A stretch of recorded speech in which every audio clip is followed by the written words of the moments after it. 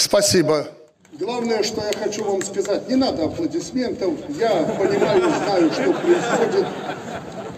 Я знаю, понимаю, что происходит. Я не первый год, как говорят в народе, замужем. Поэтому давайте поговорим по существу. Вы рабочие люди, вы тоже меня знаете. Вы всегда поддерживали президента. Это я тоже знаю. Пусть не все. Спасибо, пусть не все, я только что сказал. Пусть единицы, стоящие здесь. Но запомните, по-мужски вам скажу,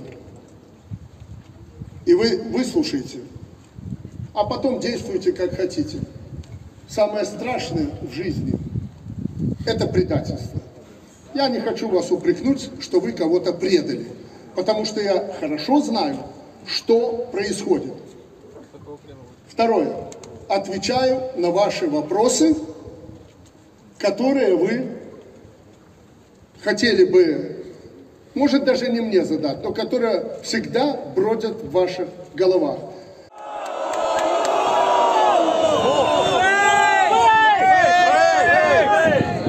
Я, я как и вы, не собрался в Уходи!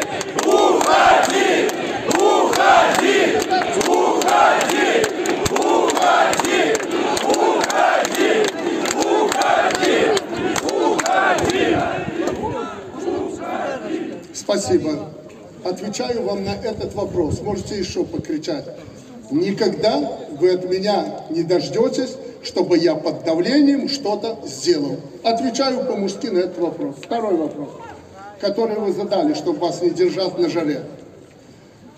Вы говорите о несправедливых выборах, выборах и хотите провести справедливые. Отвечаю вам на этот вопрос. Мы провели выборы. Пока вы меня не убьете, других выборов не будет. Третий вопрос. Третий вопрос. Э, Я понимаю, что многие якобы напряжены той ситуацией, которая сложилась э, на улицах, что там было насилие и так далее и тому подобное. Непопулярный вопрос, но он звучит. Отвечаю вам и на этот вопрос. Первое. По крупняку. Нужен был повод для того, чтобы вы кричали «Уходи». Хороший повод. А зачем Хотя было давать не этот без повод? того, вы знаете, что я поручил разобраться с каждым фактом, не без того, как говорил министр, что кто-то попал под эту раздачу. Но что удивительно, из тех две с половиной или трех тысяч все прогуливались. Нет, нет, там не было никого, кто ходил против ОМОНовцев в милиции. Ни одного не было. Все просто прогуливались. Теперь про то, что кто-то кого-то избил. Совершенно верно. Но большинство, после того, как разобрались, их было на Окрестина две с половиной или две тысячи, чтобы вы знали. И на Окрестина, непопулярно, но скажу, получили те, кто там же на Окрестина бросался на ментов. Вы знаете? Спасибо. Вы знаете, вы прежде всего знаете.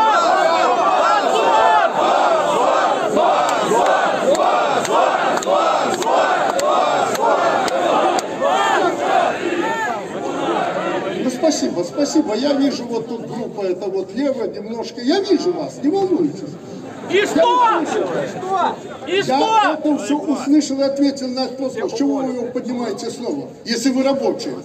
Ну вы же не запятнаете честь рабочего человека. Я вас услышал и ответил на него. Если вы хотите, чтобы я еще раз ответил, и вы покричали, я могу это сделать.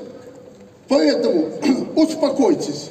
Если у кого-то есть дети, возьмите голову в руки и поймите, что никогда военный человек вам не простит, когда вы его бьете в спину на автомобиле. Я просил до этих событий, не провоцируйте их, потому что если они разойдутся, очень жарко будет не только вам, но и мне.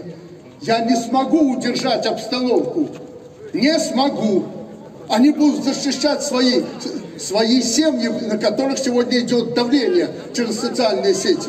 Они не смогут удержать. Поэтому успокойтесь. И последнее, и последнее. Потом покричите. Первое. Что касается этого завода. Что не хватает? Что не хватает? Вы субъекты экономической деятельности, экономики. Вы, вас клонит или вас часть в политическую плоскость перешли. Но запомните, там в политике, куда вы рынулись, не понимая, другие законы. Другие законы, чтобы потом не было больно. Ни мне, ни вам, ни народу, когда мы потеряем государство. Второе, в этой части. Если кто-то не хочет работать и хочет уйти, никто никого не будет гнобить, никто не будет никого давить. Пожалуйста, с завтрашнего дня или сегодняшнего ворота открыты. Извините за мою непопулярную эту фразу. Но время такое, когда надо говорить честно. Спасибо, я сказал все, можете кричать, уходи.